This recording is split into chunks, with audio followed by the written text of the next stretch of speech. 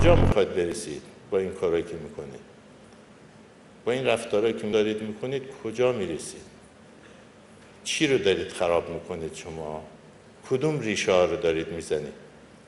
یه ذره فکر کردید تو این احواز این بچههایی که هفته پیش مثل فردا روزی اومدن اسلحه دستشون گرفتن به اسم دین برای رفتن به بهشت روی هم های خودشون گلوله گشودن اونا رو شهید کردن خودشون رو ذلیل کردن شدن مزدور اسرائیل و عربستان و دار دسته منافقین و کاخ سفید و اینا. چقدر شما توی سهم داشتید چیکار کردید تو این چند سال؟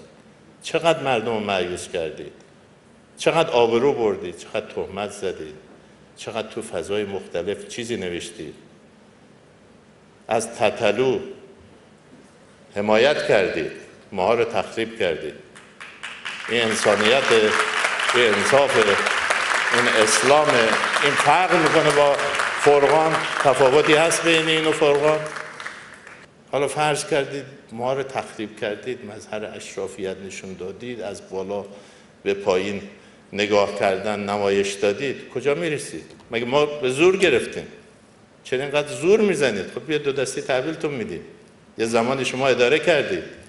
چیکار کردید چه بلایی سر این کشور آوردید شعارهای خیلی پرتمطراق دادید عجیب ملت. هنوزم ادامه می‌دید که ما اومدیم سر کار. مردم به استناد وزیر وقت مورد حمایت دولت دوران شما گفت که در گزارشش مجلس 70 درصد هزینه های بهداشت درمان مردم دارن عجیبشون میدن. برای هر یه درصد که کم بکنید 790 میلیارد تومان باید هزینه کنید امروز این دولت کاری کرده که به 35 درصد کاهش پیدا کرده. ما جز بدترین کشورهای دنیا بودیم. از نظر پرداخت به مردم برای دریافت خدمات. ببینید تو همین استان و خوزستان چقدر کار شده. ببینید در اون دورانی که بیشترین پول در اختیار دولت بود چند تا تخت بیمارستان اضافه شد. خجالت آور نیست. امروز دو تا بیمارستان افتتاح شد که در تاریخ این استان سابقه نداشته.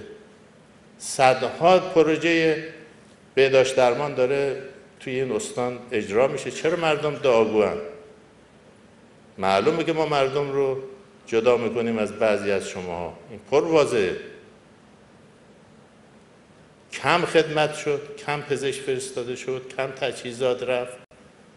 کم خونه بهداشت بالغ بر 7000 خونه بهداشت و مرکز بهداشتی ساخته شد و 24 5000 تخت بیمارستانی درست شده.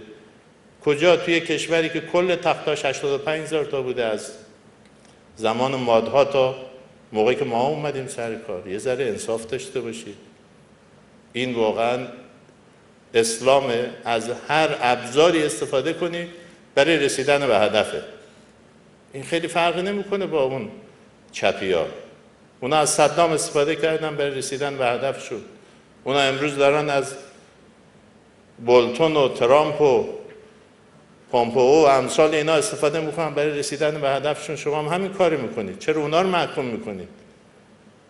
چرا میگید تکفیری؟ و تکفیری شمایی. مگه ما رو تکفیر نمی‌کنید؟ مگه ما کی هستیم؟ سابقه رو گفتیم تو چه زندگی بزرگ شدیم؟ اعتقادمون چی هست؟ از کجا رأی گرفتیم تو کدوم دولت هستیم خب شما هم تکفیری هستید چرا تکفیری ها رو؟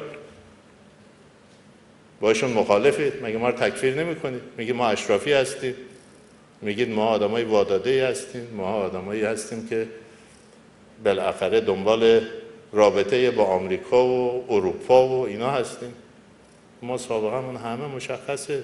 امروز هم که اینجا وایستادیم به خاطر خجالت از شهدا و خانواده شهدا و خون اونهاست. دست بردارید. کشور رو نابود می‌کنید.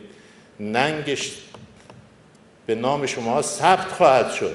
اگه ایران تجزیه شه. شوخی نداره. گذشت ده سال پیش 20 سال پیش. الان همهشون با هم لاقل با خودتون رحم کنید.